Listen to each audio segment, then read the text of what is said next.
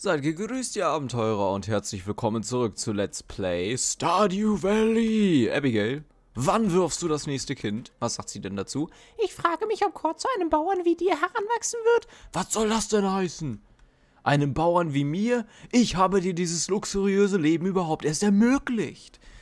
Und damit schauen wir jetzt erstmal in unseren luxuriösen Weinkeller, der so langsam vor qualitativen Wein überläuft, wenn man sich das mal hier genauer anschaut. Nicht schlecht, Herr Specht. Also ich bin wirklich gespannt, wenn wir die alle wieder für ähm, die Amethyst, ist es, heißt es Amethyst? Iridium-Qualität, warum sage ich Amethyst? Iridium-Qualität, wenn wir es dafür verkaufen, äh, wie krass das dann am Ende sein wird.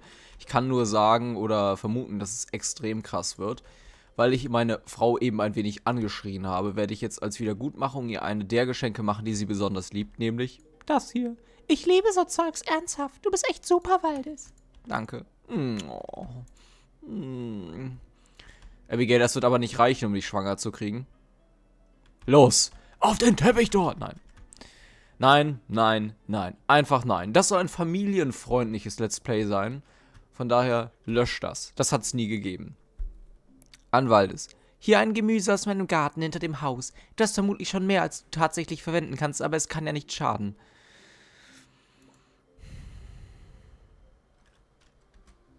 Dass ich so etwas Low-Leveliges wie eine Pastinake überhaupt noch in die Hand nehme.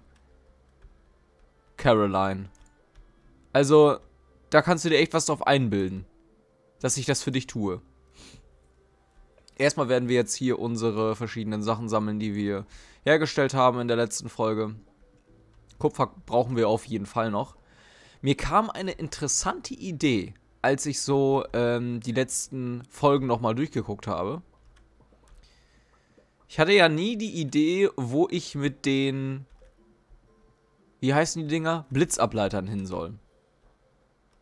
Das war mir bisher nirgendwo, nirgendwo klar eigentlich, weil es, ich finde, dass es auch keine so ein, eine einfache Sache ist. Jetzt werden wir mal eben hier, eben hier das ein wenig organisieren. Ähm, zu den Stapeln hinzufügen. Wir brauchen auf jeden Fall... Habe ich kein Eisenerz gekauft eigentlich? Es sieht fast so aus, als hätte ich das nicht getan, was mich ein wenig verwundert. Aber gut, lassen wir das einfach mal so stehen.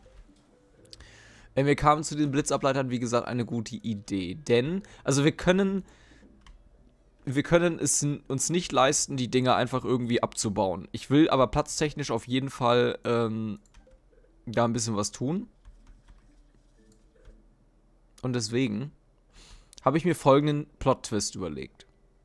Jetzt kommt's. Haltet, haltet eure Ohren fest, sonst schlackern sie nämlich weg. Also, wir nehmen die Dinger. Wir haben ja reichlich davon. Reichlich, reichlich. Hier sind offenbar keine mehr, okay. Und jetzt machen wir folgendes.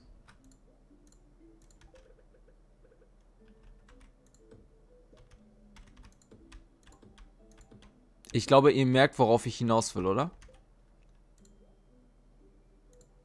Und ja, das ist mein Ernst. Ich werde einfach die Blitzableiter als fucking Zaun benutzen. Das sieht zwar nicht so schön aus, wie jetzt hier beispielsweise dieser Hartholzzaun, aber erstens, Blitzableiter gehen nie kaputt. Das bedeutet, wir haben dahingehend schon mal kein Problem und, und das ist halt der, der, äh, der zweite Vorteil, sie nehmen dann keinen unnötigen zusätzlichen Space mehr weg. Was ich eigentlich als eine Win-Win-Situation jetzt ansehen würde von dieser Warte aus betrachtet, ist der Elektrozaun geboren, wenn man so will. ja. Ein wenig gefährlich. Ich möchte das vielleicht auch meinen Tieren nicht unbedingt zumuten, aber. Denn später wird der Elektrozaun natürlich auch in diese Richtung gehen. Einzig blöde ist halt, dass man, glaube ich, die. Oder aber die. Okay, die kann man ja lassen. Man kann ja bis hier lassen. Ja, wenn wir das so machen, da kann man ja das hier lassen. Sieht zwar auch nicht so geil aus, aber wie gesagt, das ist eher eine praktische Lösung als eine Schönheitslösung. Und die praktische Lösung ist mir in diesem Fall wirklich wichtiger. Ansonsten müssen wir natürlich weiterhin unsere Quest verfolgen. Perfekt, sehr schön. Müssen wir noch weiterhin unsere Quest verfolgen, mehrere von den Säulen, von den Obelisken hier zu bauen. Und dafür müssen wir in erster Linie Muscheln sammeln. Diese Miesmuscheln da. Ne, Venusmuscheln waren es. Und wir brauchen natürlich auch noch Kaktusfrucht und Kokosnuss.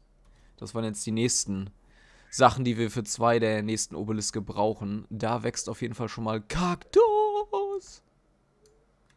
Sehr schön.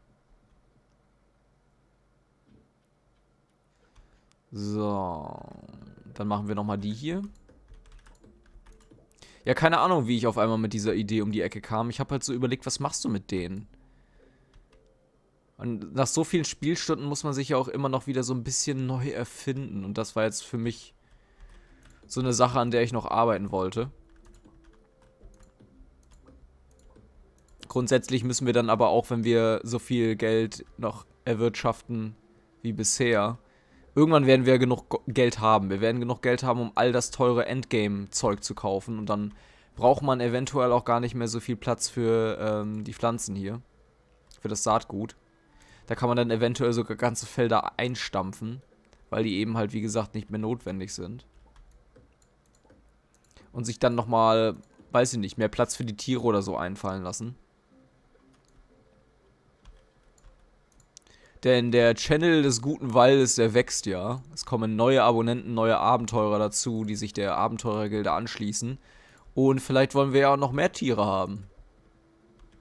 Damit wir mehr Namen unserer Abonnenten einbauen können. Logischerweise. Brauchen wir dann auch mehr Platz. So. Okay, bis hierhin sind wir nun also. Jetzt schauen wir uns nochmal an, was hier los ist. Erstmal nichts, okay. Aber es ist ja nicht so, als hätte ich nicht genügend Geld gerade auf der hohen Kante. Auch nichts.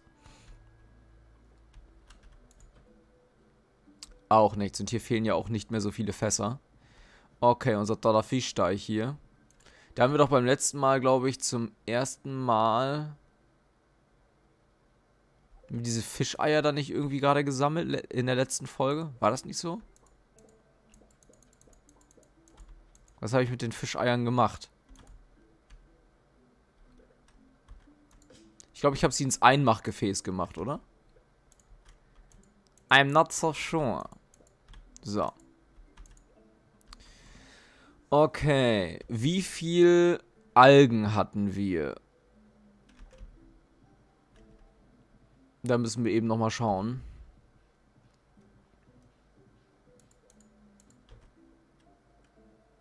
Ich glaube, das war hier. Grünalge, Seetang 3. Da fehlen jetzt also noch zwei. Es fehlen vier Kokosnüsse.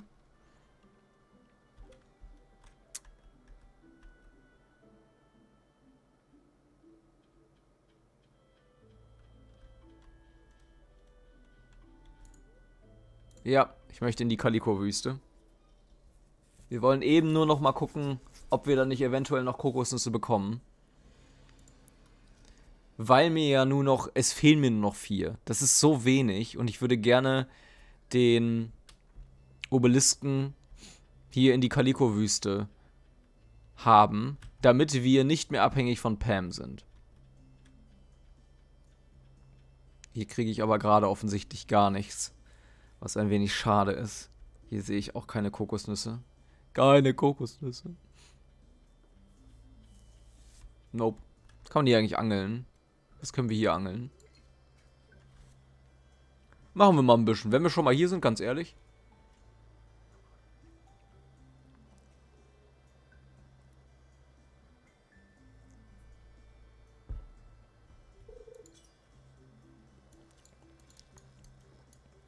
Okay.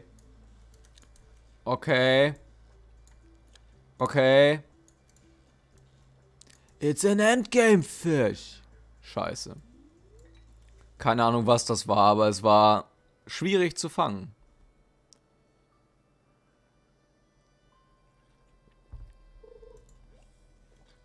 Grünalge ist schon mal geil.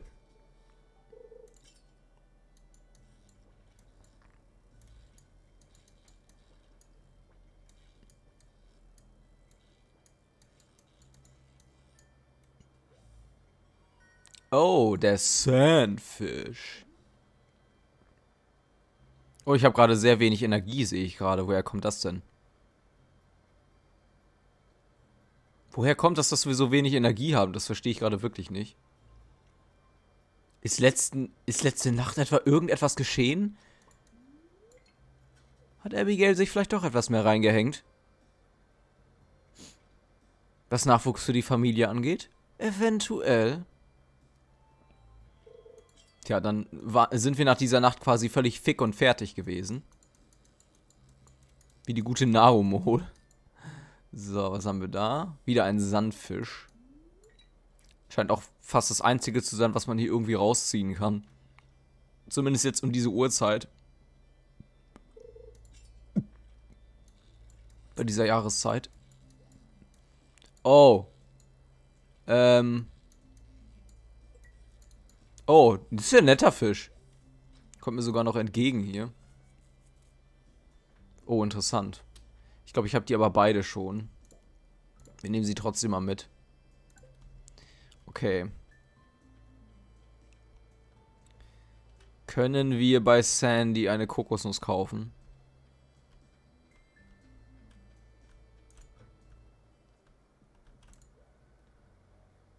Nein. Aber ein T-Shirt. Kaktussaat brauchen wir auch nicht. Na gut.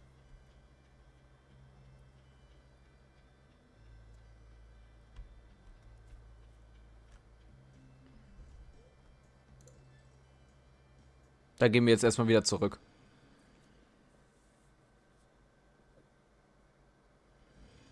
Oh, Hader. Guckt euch, guckt euch mal die Dämmerung an hier. Es wird dunkel.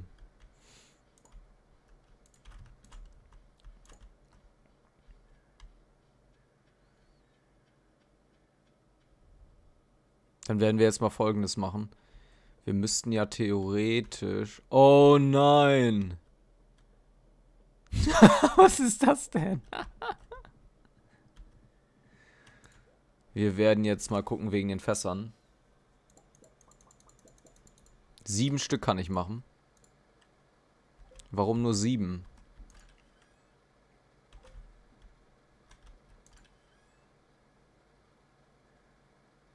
Warum nur sieben?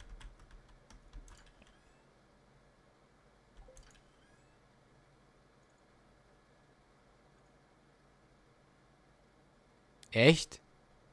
Hatte ich nicht mehr Eichenharz? Nein? Sonderbar. Aber okay. Dann bringen wir das mal erstmal nach ganz unten.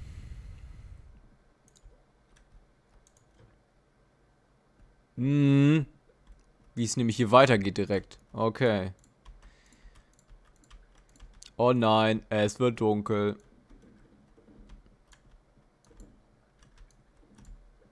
Dann ernten wir das mal. Es ist der ganz normale Sternfruchtwein, der uns so dekadent hat werden lassen. Der berühmte Sternfruchtwein von der Batcave-Höhle, Hof.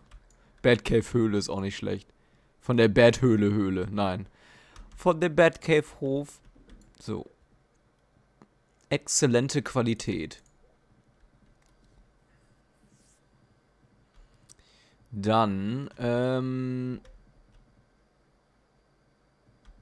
gehe ich einmal zum Strand kurz.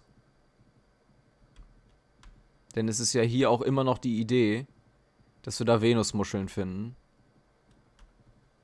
Gott, wie sehr der Tag schon wieder an mir vorbeigezogen ist irgendwie. Hey, wie heißt der nochmal? Sam oder so? Jo. Ich komme gerade vom Arzt, komplett gesund und munter, wie ich es erwartet hatte. Hey, Lea. Demnächst werde ich eine Gemüsepfanne mit Wildpilzen machen. Cool. Bring doch mal was vorbei. So gute Nachbarschaftsmäßig.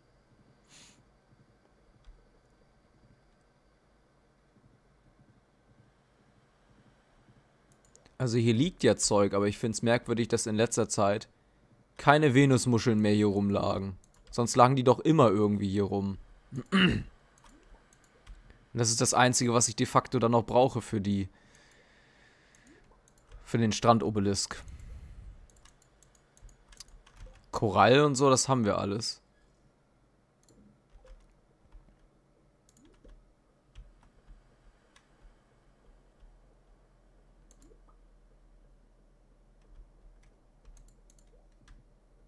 So.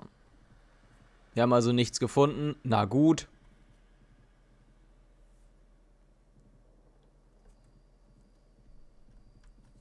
Ich glaube, das kann ich gerade so verknüsen.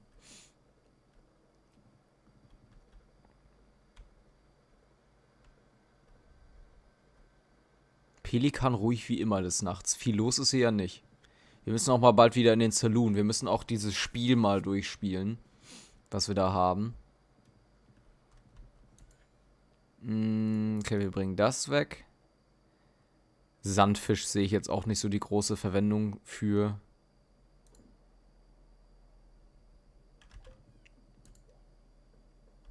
Wir hatten doch hier... Ah ja, Trüffelöl noch.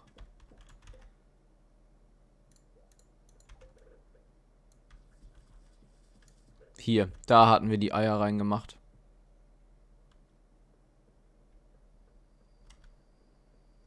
In der Hoffnung, dass da dann Kaviar draus wird. Wobei das wahrscheinlich nicht passiert. Das ist eigentlich das, was man vom Stör kennt.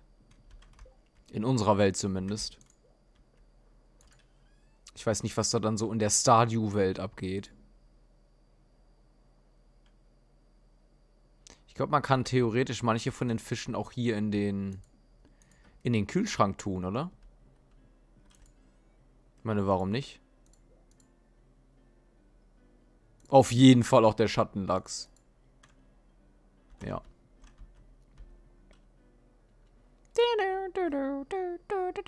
Das ist doch okay. Als nächstes... Alter, guckt euch die ganzen Haufen an.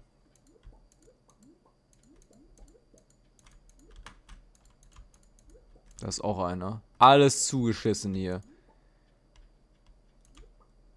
Hätte ich direkt mit einem Klappjapaner herkommen müssen. So.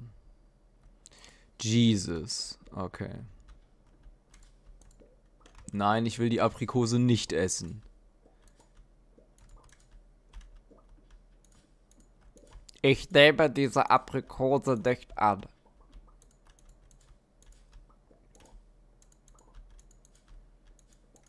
Danke.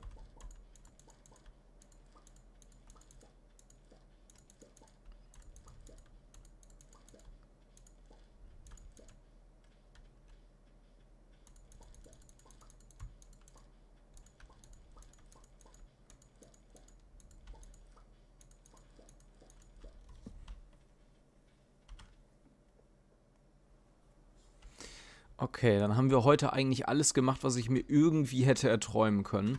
Was brauchen wir denn eigentlich noch für Eisenbarren, verfeinerter Quarz und Fledermausflügel?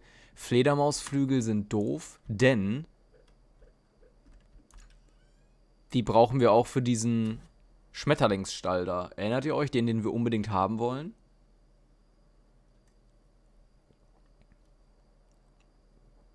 Vor allen Dingen habe ich auch nichts Quarzmäßiges mehr. Hm.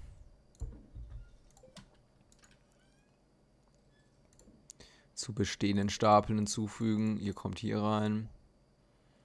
Wieder 20 verschiedene Arten von... Ach, das ist so...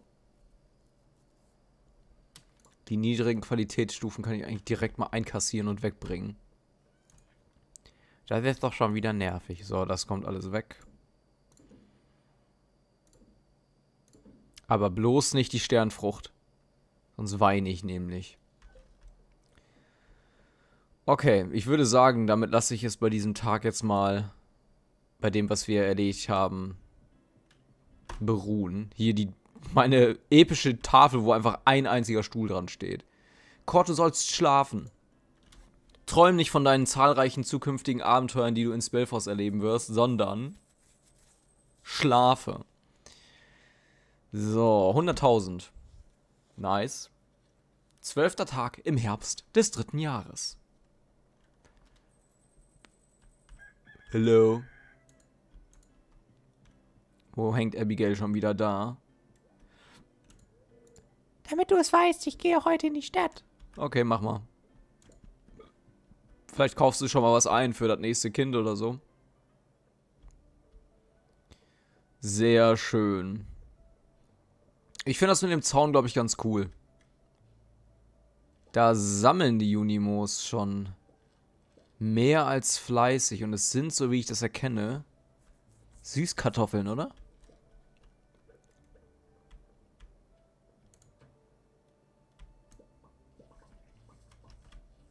So.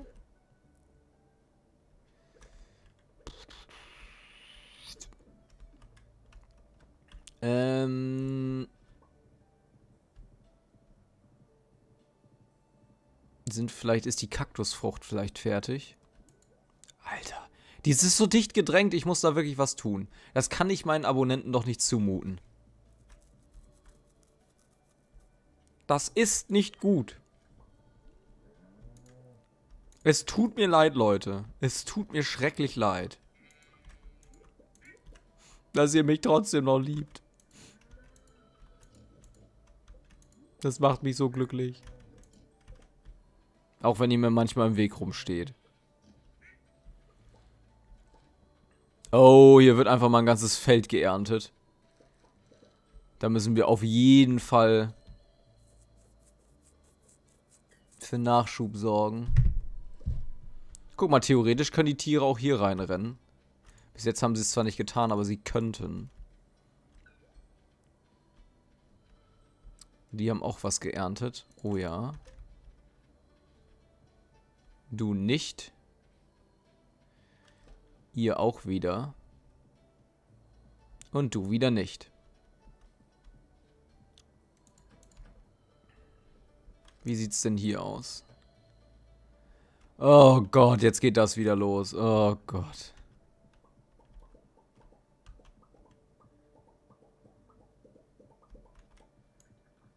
Der Mogul schlägt wieder zu, aber sowas von.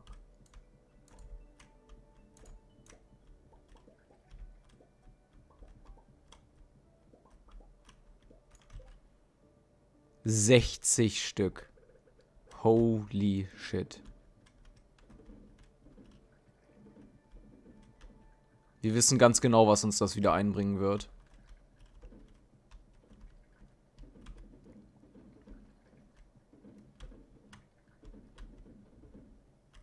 Wenn ich jetzt mal so überlege, dass ich fast wieder 2 Millionen auf dem Konto haben, haben werde in der nächsten Zeit. Obwohl wir schon eine Million ausgegeben haben für den Obelisken, ist es einfach nur heftig. Aber so langsam geht uns natürlich auch die Sternfrucht aus. Das ist einfach eine logische Konsequenz aus unserem Material, was wir hier so rausprügeln.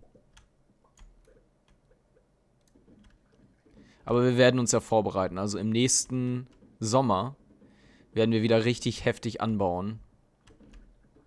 Die Sternfrucht. Da führt kein Weg dran vorbei.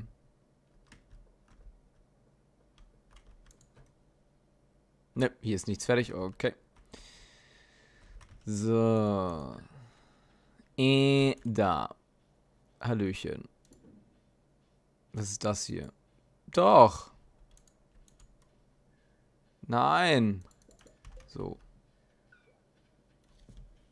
Es ist vorbei. Bye, bye, Junimo. Es ist vorbei. So. Also, das weg, das weg, das weg, das weg. Süßkartoffeln. Mh.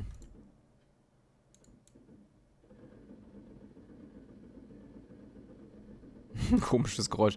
Ich nehme mal 20 Stück in den Kühlschrank. So ein richtiger Messi-Kühlschrank, wenn ich mir angucke, was da alles drin ist. Vielleicht kann man Süßkartoffeln da später auch irgendwie noch verwenden.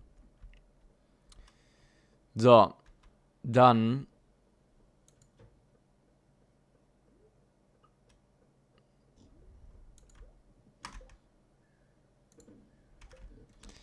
Warte mal, wie war das? Ich hatte nicht genug Algen. Oder?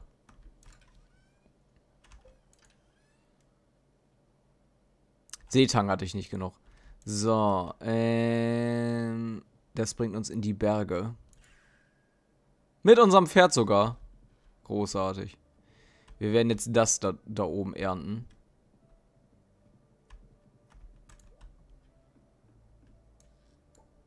Und eigentlich habe ich das total doof gemacht, denn normalerweise hätte ich hier direkt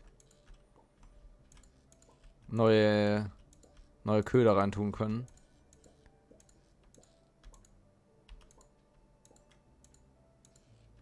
Wie ich einfach die ganzen Krabbenreusen eingesackt habe. Mann.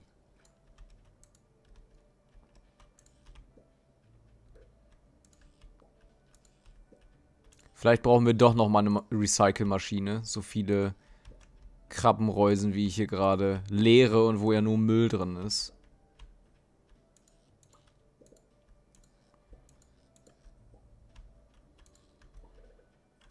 Krabbenreuse. Komm her. Dass wir da immer noch nicht Level 10 haben. Beim Angeln. Ich meine, was soll ich denn noch tun? Was soll ich noch tun?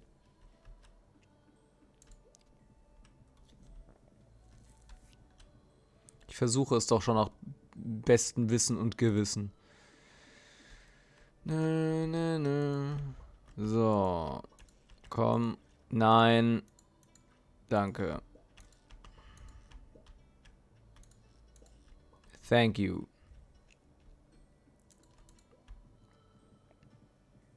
Wir haben auch lange nicht mehr beim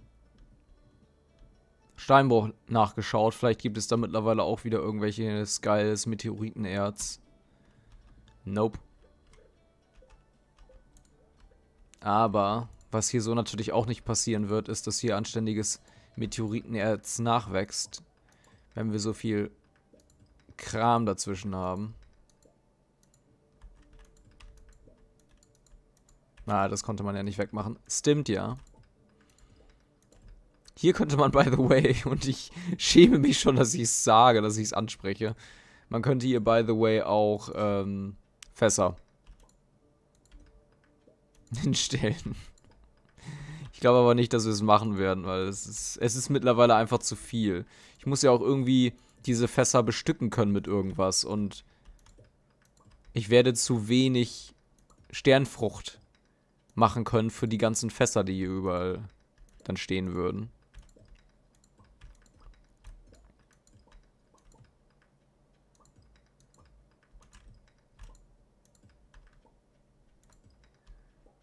Der Plan wäre auf jeden Fall ein ziemlich kranker.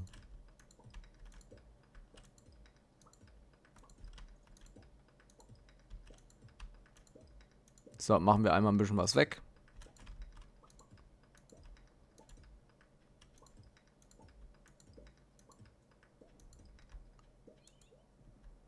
Da oben ist noch Eisen und Kupfer. Sehr schön. Du musst auch nicht hier stehen, mein Guter. Das ist ein Steinbruch. Wir haben schon wieder alles voll. Ja, es ist... Es ist ein Graus. Ich will eine verdammte Inventarerweiterung. Das kann doch nicht zu viel verlangt sein.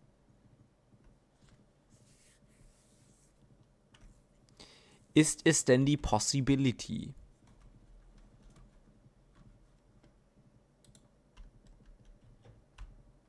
Ah ja. Hier erinnere ich mich auch noch dran. Problem ist, wir kommen hier nie wieder raus. Dann brauchen wir auch gar nicht lang reiten.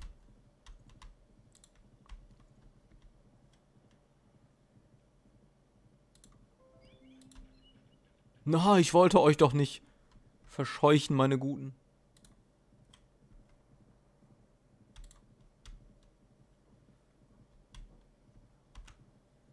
Fahre gerade etwas ungelenkt, weil ich gerade mit der anderen Hand.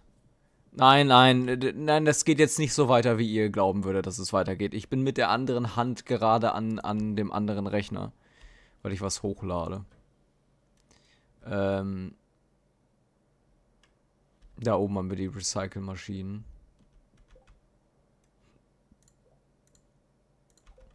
Da kriegte man doch teilweise Quarz raus, oder?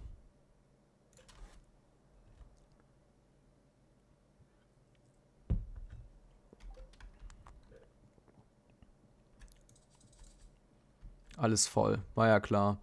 Okay, ähm...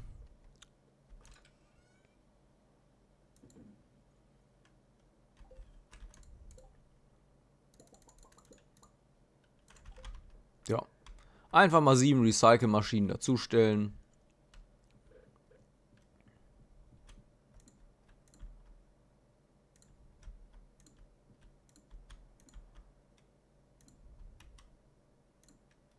Ja, geil. Das ist doch schön. Dann nützt uns das wenigstens etwas. So, dann machen wir die Brillen da noch rein. Und dann haben wir hier noch einen, da kommt dann Treibholz rein. So, dann hatten wir hier noch Iridium. Wieder genug für drei Barren.